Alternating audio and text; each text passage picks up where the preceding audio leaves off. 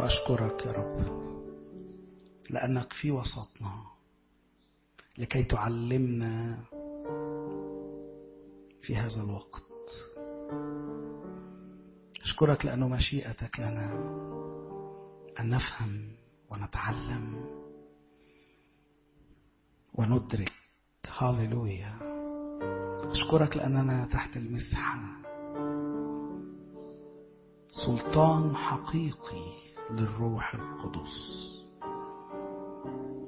أشكرك لأنك إله ترتيب.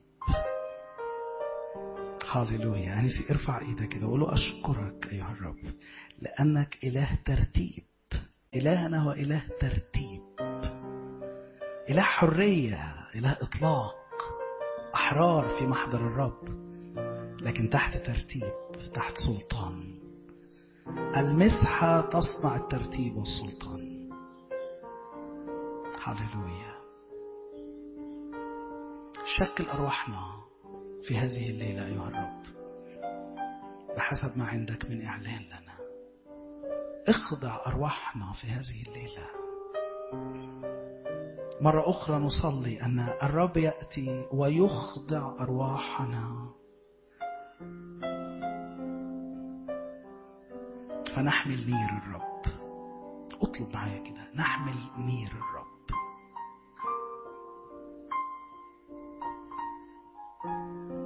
نحمل نير الرب وأشعر بكلمة بداخلي الأشخاص في هذا المكان. أيا كان ما تمر به نفسيا. تعال إلى الرب الآن وقول له أنا عايز أخضع لنيرك في هذه الليلة أيها الرب. مفيش أغلى من نير الرب. مفيش أغلى من نير الرب. ممكن يبقى جواك كده أمور تقول أصل الأمر ده ضايقني أصل فلان ضايقني أصل وده عامل جواك أزمة. والرب يقول لك انظر إلى التكليف الذي وضعته في حياتك. تيموثاوس كان عنده مشاكل مع أشخاص شايفينه صغير.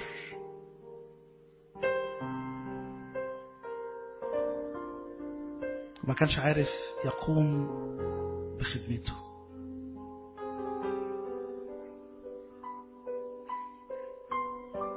لكن أرسل له الرسول بولس.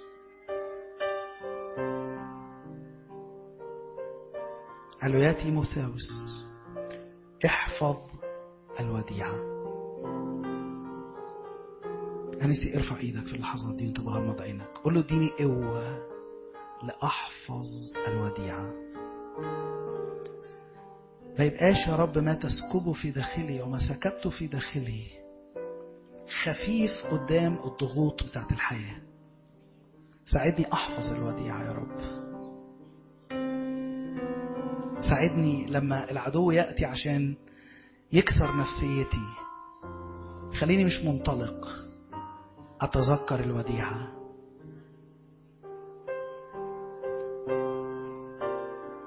هاليلويا وتاني نتحد في هذه اللحظات لأجل شفاء للأمراض في الوسط باسم الرب يسوع. شفاء كامل الآن في اسم الرب يسوع. إلهي تفيض منه قوة الشفاء. يسوع قال هللويا شعرت بالقوة لأنه شعر بالقوة التي خرجت منه. من لمسني هللويا ارفع إيدك وقول له أنا ألمسك يا رب في هذه اللحظات.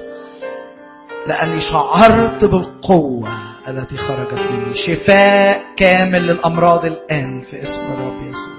شفاء كامل للأمراض الآن. كل ما صنعه العدو في أي جسد في هذا المكان يهدم باسم الرب يسوع. قوة قوة قوة للشفاء في اسم الرب يسوع. هللويا نلتصق بالرب ونشفى. نلتصق بالرب وتجدد حيوية أجسادنا في اسم الرب يسوع. نلتصق بالرب نعم هللويا.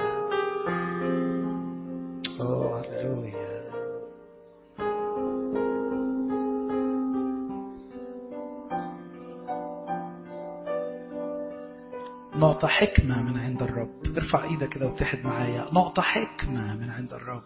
نعطى ثمن وحكمة في اسم الرب يسوع. أي ضعف في عضلة القلب يشفى الآن في اسم الرب يسوع. هللويا. أوه هللويا. أي نغزات ولو خفيفة بتشعرها؟ الآن شفاء كامل في اسم الرب يسوع. هللويا. لا خوف في المحبة. المحبة الكاملة تطرح الخوف إلى الخارج. هللويا. هللويا أطمئن وأستريح. هللويا أنام في طمأنينة باسم الرب يسوع. في طمأنينة أيها الرب تسكنني. نعم. هللويا امتلئ بالطمأنينة الآن. امتلئ بالطمأنينة الآن. هللويا امتلئ بالطمأنينة الآن. إيمان إبراهيم. هللويا الذي لم يعتبر جسده. لأنه آمن أن الذي وعد هو قادر أن يفعل. أشكرك أيها الرب. هللويا.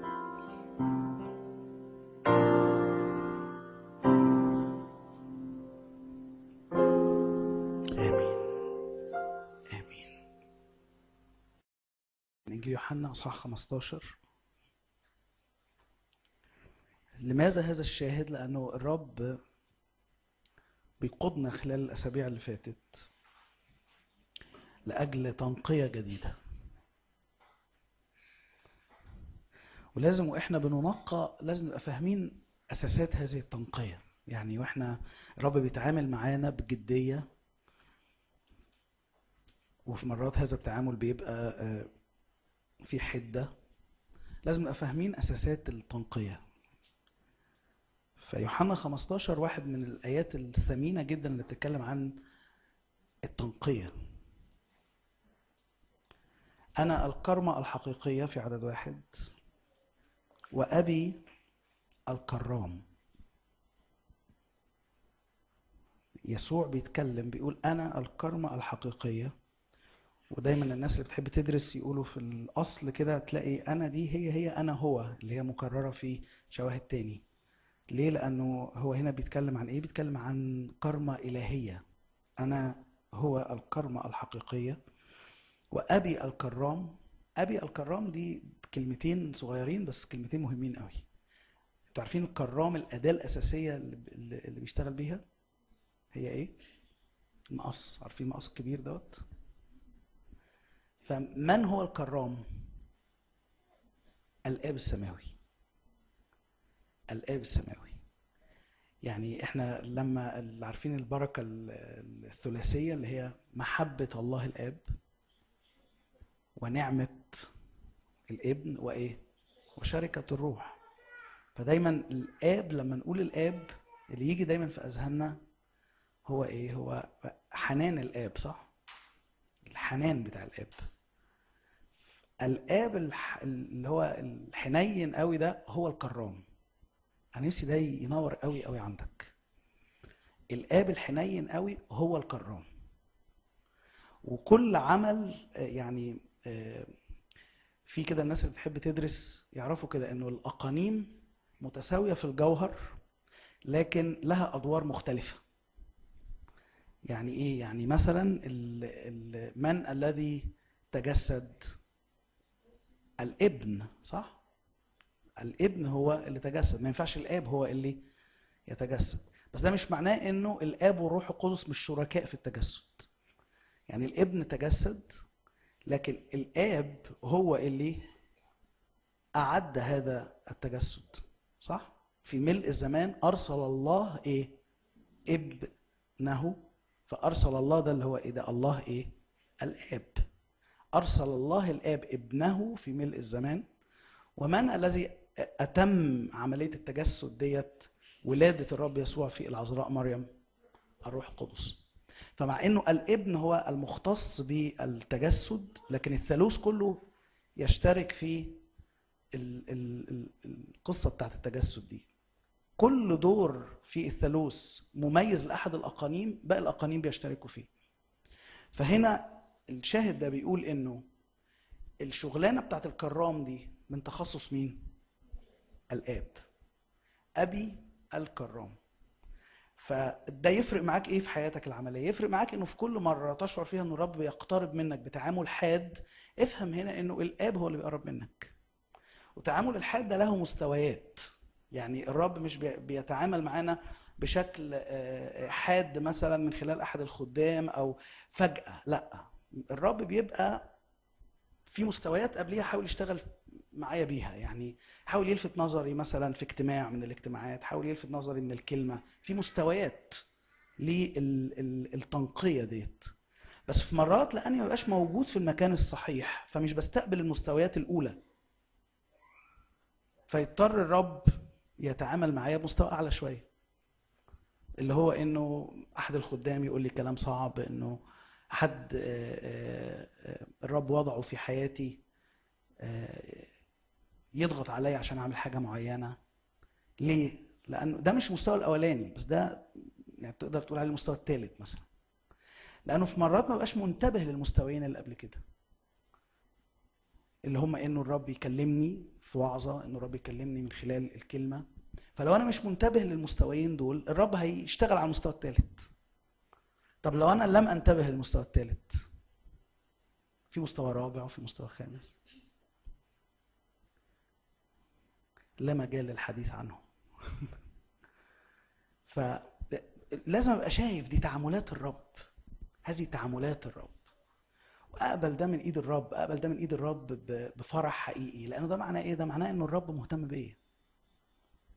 لأنه لو الرب مش مهتم بيا ال- اللي بيحب الزرع أو ممكن يبقى فاهم دوت إلى حد ما. إنه أنت ممكن لو عندك زرعة والزرعه دي بتكبر وكده بس راح طالع فيها حتة كده مش مظبوطة. الحتة دي ممكن تعدي الفرع اللي جنبيها تعدي الفرع اللي جنبه. شفتوا قبل كده زرعة عاملة كده؟ فيحصل في الآخر خالص إيه؟ تموت. لأن الآب السماوي لا يريدك أن تموت. لا يريدك أن تموت. لأنه إن كنا لا نقاوم أعمال الجسد بالروح رسالة روميا بتقول كده.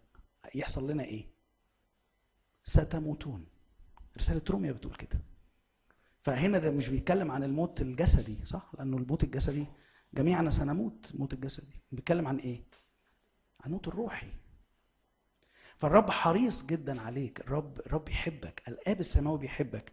طيب الابن والروح القدس بقى بيعملوا إيه في العملية دي؟ يعني الآب هو الكرام. يعني الآب هو اللي بيقترب مني بحب شديد جدا. تقدر تشوف الحضن بتاع الآب مكان المقص.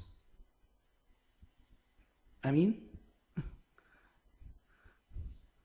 حلوة دي صح؟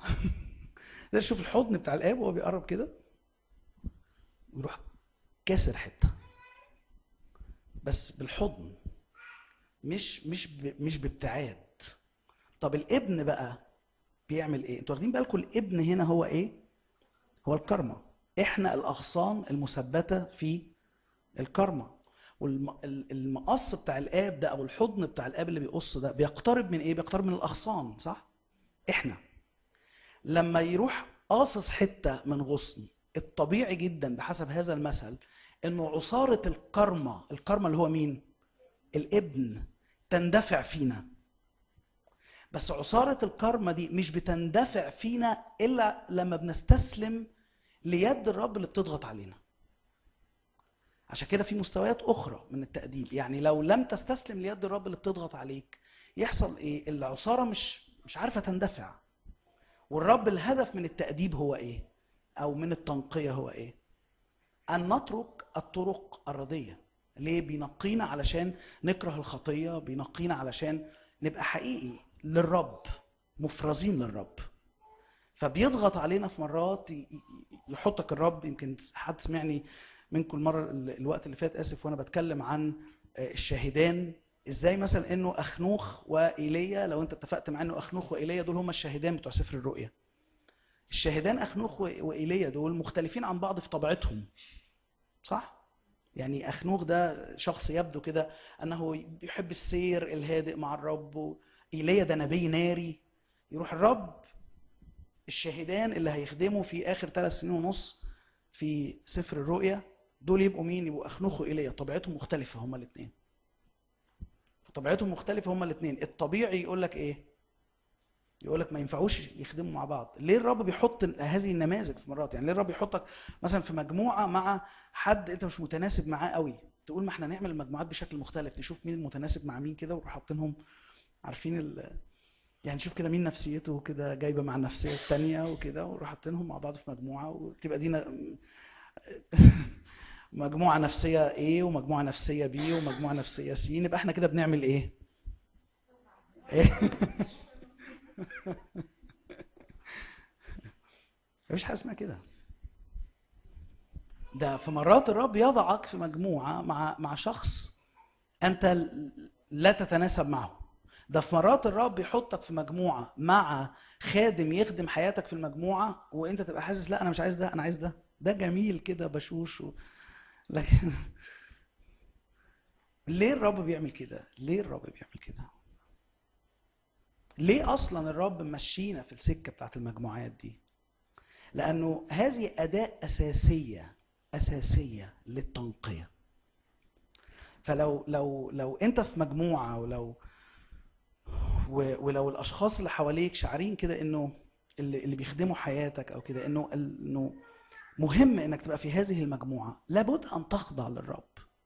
مش لأشخاص يعني ولا ولا ليا ولا لأي حد في وسطينا. بس لابد أن تخضع للرب. ليه؟ عشان الرب يتم التشكيل اللي عايز يعمله في حياتك. مين يقول آمين؟ آمين؟ أنا لا أقصد حد بعينه لأني بصيت ضربت عيني كده لقيت في كام عين باصين لي. كأني بتكلم عليهم. أنا بتكلم باللي الرب بيحطه جوايا. موافقين؟ ولا لأ؟ موافقين ولا لأ؟ مش موافقين؟ أوكي. فالعصارة هنا المندفعة من الابن يسوع إذا لم أخضع العصارة مش بتندفع وده معناه إيه؟ إنه التنقية ما بتجيبش النتيجة بتاعتها. فالرب ممكن ينقلني على مستوى آخر من التنقية أو مستوى آخر من التأديب. طب الروح القدس بقى بيعمل إيه هنا؟ الروح القدس هو المجال أو القوة اللي إحنا بنسميها المسحة اللي بتضمن إنه هذه العملية تأتي بالثمر يعني الآب بي- بيحضن بيقصقص وأنا مش عايز أفصل الاثنين عن بعض الحضن عن القصقصة. فالآب بيحضن وبيقصقص الابن بتندفع منه العصارة بتاعت الكرمة اللي بتخلي ال- الفرع أو الغصن متهيألي معظمنا شاف المشهد قبل كده لما يجوا يقطعوا آه، فرع أو كده وبعدين تيجي بعديها بكام أسبوع تلاقي الفرع ده حصل له إيه? الورق بقى أخضر جدا وكثيف و... فالابن بتندفع العصارة من الابن الروح القدس هو اللي بيضمن كل هذا. ده المسحة ده القوة بتاعت العملية كلها. عشان كده في أوقات التنقية إيه الاحتياج الأساسي؟ الاحتياج الأساسي أن أوجد في حضور الرب أوقات طويلة. ليه؟ لأنه لأنه لو لو لم أوجد في حضور الرب أوقات طويلة اللي بيعمله معايا الرب من الناحيه التانية يفهم بشكل خاطئ أترجمه بشكل غلط. أتخيل إن دي قسوة من الرب. أتخيل إنه ويعلى بقى جوايا بقى الصوت بقى بتاع أنا مش عايز كده و... وأنا ما أحبش حد يجبرني وأنا مش عارف إيه. ليه؟ لأنه أنا ما اتنقعتش في حضور الرب. لو اتنقعت في حضور الرب الموضوع يمشي عارفين في تراكيب موجودة في الكتاب المقدس؟ الطبيعي بتاعها إنها تمشي بشكل بسيط جدا بس إحنا في مرات بنعطلها. واحدة من هذه التراكيب مثلا يمكن فيكم المجموعات اللي قرت الكلمة والامتلاك واحدة من هذه التراكيب البسيطة جدا اللي موجودة في الكتاب المقدس وهتكلم عنها بعد شوية هي إنه الكلمة تنتج إيمان. يا ده طبيعي. يعني انت وانت بتقرأ في الكلمة الطبيعي انه الكلمة ديت لو أنا عايش في تنقية حقيقية تنتج إيمان. لو الكلمة لا تنتج إيمان في حياتي ده بيقول إن التركيبة مش شغالة كويس. فده معناه إيه؟ ده معناه إن في حاجة موقفة. ممكن تبقى خطية ممكن تبقى استهانة ممكن تبقى عدم فهم بمبدأ روحي معين فماشي عمال أكسر هذا المبدأ الروحي. ففي تراكيب معينة. واحدة من هذه ال- ال- التراكيب هي التركيبه اللي إحنا بنتكلم عنها ديت. إنه التنقية تعدي بسهولة شديدة. بس إمتى؟ في الحضور في الزيت. مين يقول أمين. أنا نفسي كده غمض عينك ونرفع إيدينا ونصلي في اسم الرب يسوع. أي شخص يا رب في الوسط؟ أنت تتم عملك فيه. نفسي ارفع إيدك كده عالي وقول يا رب أنا أحتاج أن تتم عملك فيا في اسم الرب يسوع. تنقيني من الذات وتنقيني من العلاقات الخاطئة وتنقيني من ال ال ال الكراهية اللي في مرات أنا بسميها حاجات تاني. في اسم الرب يسوع في اسم الرب يسوع في اسم الرب يسوع. تنقينا في اسم الرب يسوع. هاخد شاهد تاني من تسالونيكي الأولى. وشاهد مميز بيصف العلاقة ما بين آه، الشخص اللي بيخدم حياتك وما بينك. في علاقة كده روحية مميزة قوي. نفسي بس في دقيقتين كده تنور قدامك. في رسالة بولس الرسول الأولى إلى أهل تسالونيكي إصحاح 2 وعدد 17 فالنقطة الأولى الرب بيقول لك فيها إيه؟ بيقول لك إنه الآب هو الكرام الذي يريد إنه يحضنك عشان يقصقص حاجات. ولما الرب بيحضننا ويقصقص حاجات ده بيضمن إنه الامتلاك يحصل. آمين؟ لا امتلاك اسمعوني جيدا لا امتلاك بدون تنقية لا امتلاك على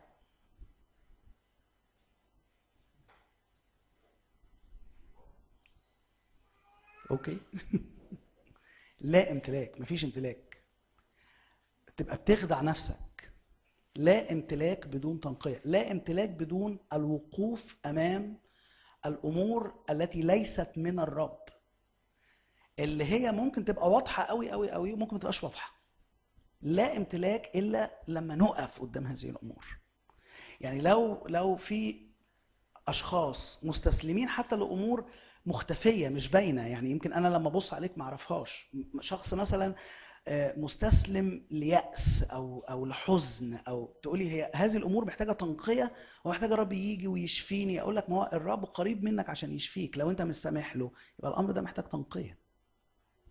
فاهمين الفرق بين الاثنين يعني الرب دائما موجود عشان يشفيني. طب لو أنا بحضر اجتماعات وأنا في مجموعة وأنا وباخد حتى خلوتي بس الشفاء ده مش حاصل. ده معناه إيه؟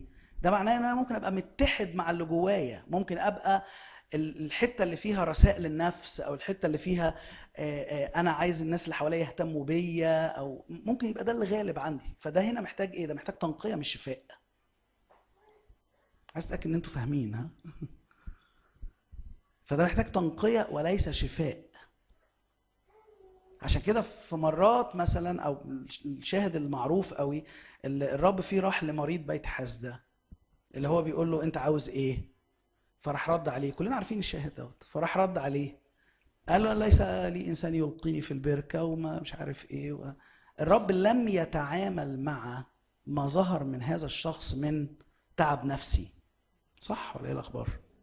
ده تعب نفسي اللي ظهر دوت صح؟ يعني هو الراجل النهارده لو إحنا بال... بال... بالذهن الطبيعي ومبادئ المشوره وبتاع وكده يقول لك إيه؟ اتعامل مع اللي خارج منه صح؟ يعني هو بيقول لك صح يعني والرب مبادئ المشوره دي بالنسبة له ولا حاجة أصلا. لأنه مش كل ما يخرج منك ينبغي التعامل معه. لأنه ممكن اللي بيبقى خارج منك شكله تعب نفسي بس هو وراءه أرواح شريرة. الرب يعمل إيه؟ يتعامل مع هذا الأمر بمعجزة. ده تعامل الرب في المشهد دوت. راح قال له إيه؟ قم. احمل سريرك وامشي. لو الراجل دوت فضل مصر إنه طب حل لي المشكلة بتاعتي بتاعت ما فيش حد حواليا وأنا مش عارف إيه. المعجزة كانت تحصل. قم. احمل سريرك وامشي. باسم الرب يسوع. مرة تاني كده ارفع إيدك كده باسم الرب يسوع. أي شخص محصور في أمور نفسية من العدو وينتظر تعامل بشفاء الرب بيقول لك قم احمل سريرك وامشي في اسم الرب يسوع. وما يبقاش في وسطينا حد محصور في نفسه ما يبقاش في وسطينا حد بيرثل نفسه ما يبقاش في وسطينا حد كل اللي شايفه هو العيان والواقع. حرية باسم الرب يسوع من العيان ومن الواقع في اسم الرب يسوع. بص بقى في هذا الشاهد تسالونيكي الأولى أصحاح 2 وعدد 17 يقولوا أما نحن أيها الإخوة فإذ قد فقدناكم زمان ساعة بالوجه لا بالقلب اجتهدنا أكثر باشتهاء كثير أن نرى وجوهكم. لذلك أردنا أن نأتي إليكم أنا بولس مرة ومرتين وإنما عاقنا الشيطان. وهنا لازم تاخد بالك من حاجة مهمة جدا إنه العدو يتدخل هنا مش عشان يعيق اجتماع مثلا أو نهضة كرازيه أو العدو هنا بيتدخل عشان يعيق إيه؟ زيارة صح؟ يعني تقدر تسميها إيه؟ تجمع صغير. يقول هو العدو بيبقى باصص على التجمعات الصغيرة. بنفس الأهمية اللي بيبقى باصص بيها على اجتماع مثلا زي اجتماعنا دوت أو اجتماع كبير أو كده الاثنين عند العدو واحد. وبيركز جدا العدو لأنه عارف في مرات كتيرة إنه إذا أعاق التجمعات الصغيرة يستطيع أن يعيق الأمر الكبير. فالعدو فاهم ده كويس. عشان كده في مرات تلاقي العدو يعمل على ذهن شخص أو على ليه عشان يفصله عن التجمع الصغير اللي الرب عايزه فيه. لأن العدو عارف السكة ديت. فهنا العدو بيحاول يعمل إيه؟ أنا عايز أتأكد إن أنتوا مركزين ومصحصحين لأنه الكلام ده مهم. أنا بتكلم بهدوء لأن هذا الكلام هام جدا. أمين؟ مين صاحي؟ أمين. ف حاول بولس هنا إن هو يذهب إلى أهل تسالونيكي مرة مرتين وعاقهم الشيطان. بص في عدد 19 بيقول إيه؟ وده الشاهد اللي أنا عايزه. لأن من هو رجاؤنا وفرحنا وإكليل إيه؟ افتخارنا. أم لستم أنتم أيضا أمام ربنا يسوع المسيح في مجيئه؟ لأنكم أنتم مجدنا وفرحنا. هنا في علاقة طردية زي ما بيقول عارفين العلاقة الطردية؟ اللي هي لما حاجة تزيد في حاجة تانية تزيد. فبولس هنا بيوضح قانون روحي مهم جدا إنه رجاء بولس فرح بولس اللمعان بتاع الإكليل بتاع الافتخار بتاع بولس دي كلها حاجات خاصة بمين؟ ببولس شخصيا. بس هذه الحاجات كلها طلعت مرتبطة بمين؟ بمن يخدمهم بولس. مرة تانية يعني من هو رجاؤنا وفرحنا وإكليل؟ افتخارنا. يعني لو الرب كلفك بشخص لمعان الإكليل بتاعك الفرح بتاعك الرجاء بتاعك متوقف أن هذا الشخص اللي الرب كلفك بيه يصل إلى النقطة اللي الرب عايزه يوصل ليها. اكتمال عمل الرب في حياة الشخص اللي أنت بتخدمه مرتبط بإكليل افتخارك. يعني بولس وهو بيقول أنا أكملت السعي. هو هنا بيتكلم عن إيه؟ هو مش بيتكلم عن كان محطوط له واحد اتنين تلاتة أربعة لازم يروح يعملهم وخلصهم خلص الجدول فكده أكمل السعي. هو يتحدث عن نفوس. كان الرب يريد أن يستخدموا معهم فسمح للرب أن يستخدموا مع هذه النفوس فأكمل السعي. فالسعي دائما هو نفوس وليس واحد اتنين تلاتة أربعة. السعي هو نفوس. التكليف هو نفوس مش التكليف إنه يلا نعمل اجتماع. ده مش التكليف. التكليف اللي جوه الاجتماع.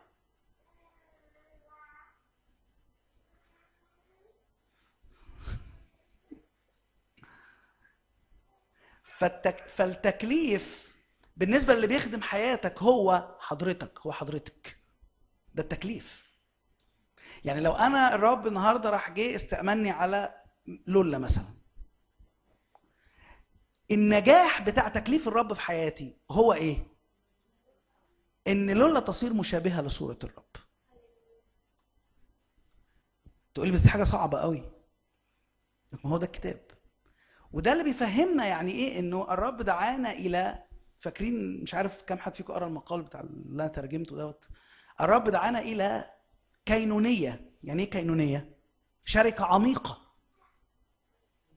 وليس فقط إكليسية.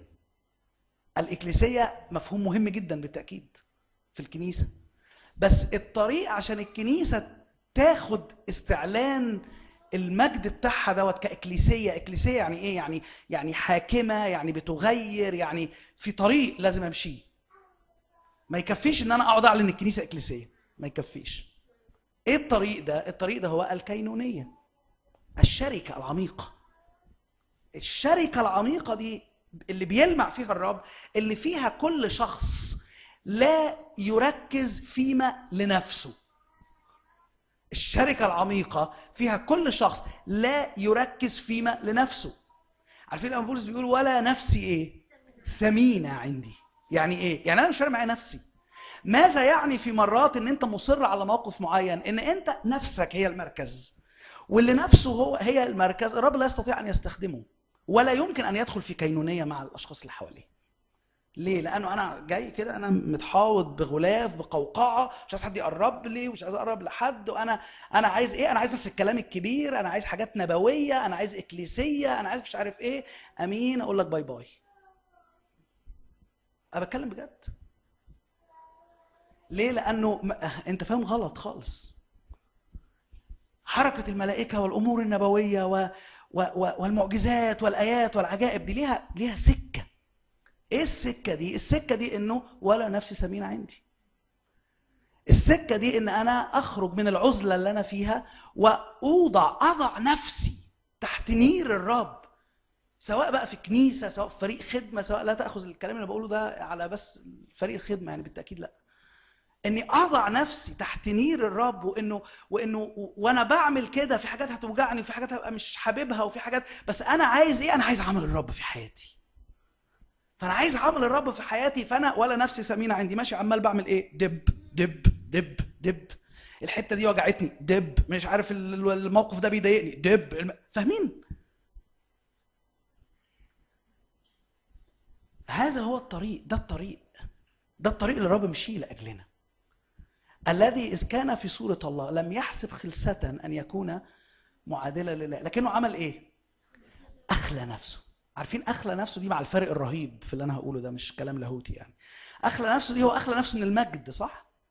هو أخلى نفسه من إيه؟ من مجده. أنا مطلوب مني أخلي نفسي من إيه؟ أنا ما عنديش مجد صح؟ ما عنديش مجد خاص. مطلوب مني أشفي نفسي من إيه؟ من إني بحسس على نفسي وبطبطب على نفسي. عارفين؟ بحبها. حبيبتي ديت. عايشة معايا بقى لها كام؟ و40 سنة. ما حدش يقرب لها. ما حدش يقرب لها. ما حدش يقرب لها. اوعى حد يقرب لها. إذا لم تفهم الكلام اللي بقوله لك دوت تفضل طول عمرك بتلف على اجتماعات بس ما تعرفش الطريق. هذا هو الطريق. أنه الحبة حبة الخردل ديت عشان تطلع تعمل إيه؟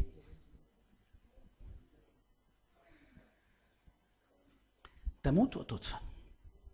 فتأتي بإيه؟ ثمر وفير. إحنا مش بنقعد نصلي للثمر صح؟ ولا إيه الأخبار؟ ارفعوا ايديكم كده طمنوني عليكم ثمر وفير. كيف يأتي الثمر ممكن تقول اللي جنبك كده. كيف يأتي الثمر إن إحنا نجيب حبة الخردل دي ونرشها كده سبراي ولا نرشها برفيوم كده حلو قوي ونعلقها في الهواء كده صح؟ إيه رأيكم؟ الثمر بيجي كده؟ نجيب لنا كام حبة خردل كده ونعلقهم كده ونتصور معاهم سيلفي صح إيه؟ أو-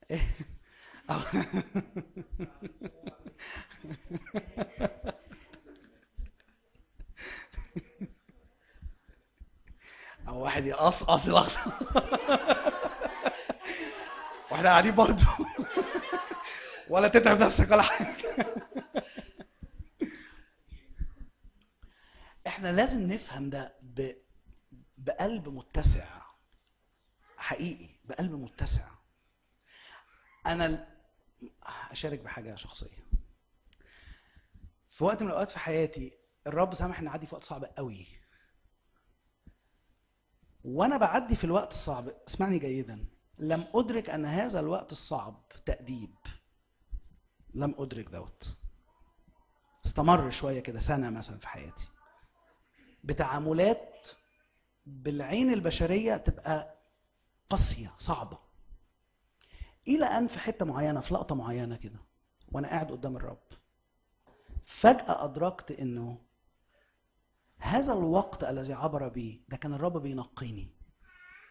فبالروح القدس وبسندة نعمة الرب أنا فتحت جوايا قلت يا رب أشكرك.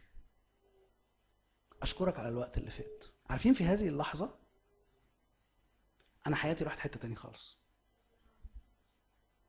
بس بالخضوع يعني إنه أخضع إنه بعد لما أشوف الرب عمل معايا إيه وأتأكد آه دي إيد الرب اللي بتنقيني أروح مستقبل من الرب زيت. أستقبل من الرب زيت يضرب ثمر على طول. إذا قفلت أحشائك مفيش حد يقدر يعملها في حياتك يعني مفيش ما ينفعش نجيب حد يعمل لنا ثمر. يعني إذا قفلت أحشائك عن هذا خلاص. يعمل إيه الرب معاك؟